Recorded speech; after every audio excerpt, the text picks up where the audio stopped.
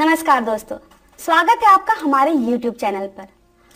आज जो विधि मैं आपको बताने जा रही हूँ, इस विधि के लिए आपको ज़्यादा कुछ नहीं करना है। लोगों के मन में विचार आ जाते हैं कि अगर आप किसी को वश में करना चाहते हो या उसे सम्मोहित करना हो तो उनसे मिलना ज़रूरी होता है। उनको खिलाना पिलाना पड़ता है। लेकिन नहीं, आज जो उपाय मैं आपको बताने जा रही हूँ, उस उपाय के माध्यम से आप बिना मिले, बिना कुछ खिलाए पिलाए आप किसी भी लड़की को अपने वश में कर सकते हैं।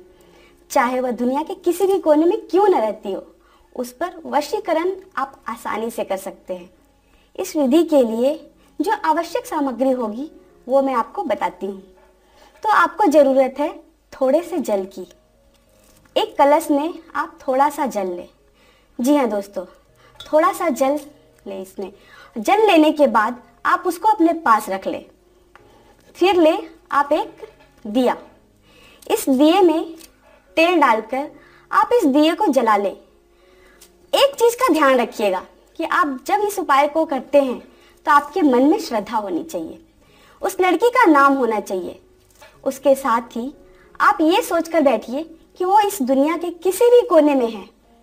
तो ये उपाय करने के बाद वो आपको ज़रूर हासिल हो जाएगी, क्योंकि कहा जाता है कि मन में श्रद्धा भावना होने से उपाय की जो शक्ति होती है, वो और भी ज़्यादा बढ़ जाती है।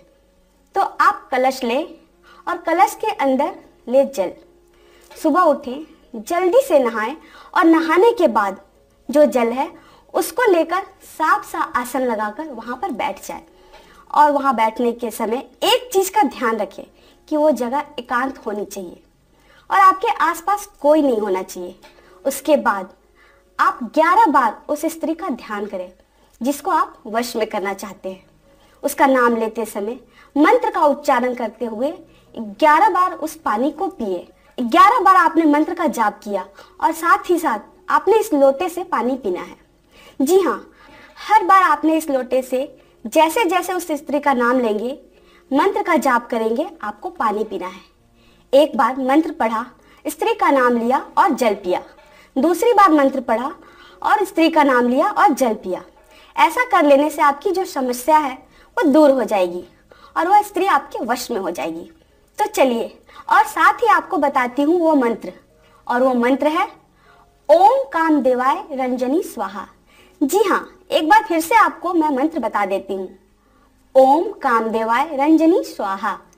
इस मंत्र का जाप आपको 11 बार करना है। और हर बार में फिर से मैं आपको याद दिला दूँ कि मंत्र का जाप करना है, स्त्री का नाम लेना है और एक घूट जल पीना है। तो 11 बार आपको ऐसा करना है। ऐसा कर लेने से आप जिनको चाहते हैं, वो हमेशा के लिए आपकी हो जाएँगी। आपको आपका प्यार हमेशा के लिए प्राप्त हो जाएगा। और आप इस दुनिया के किसी भी कोने में बैठे हो, इस वशीकरण को करके, इस उपाय को करके, आप उस स्त्री को अपने प्यार को पा सकते हैं। अगर आप ऐसे ही उपाय जानना चाहते हैं और आप इन उपायों के बारे में और भी जानकारियाँ प्राप्त करना चाहते हैं तो जो नंबर आपकी स्क्रीन पर दिखाए जा रहे हैं, आप उन पर संपर्क कर सकते हैं।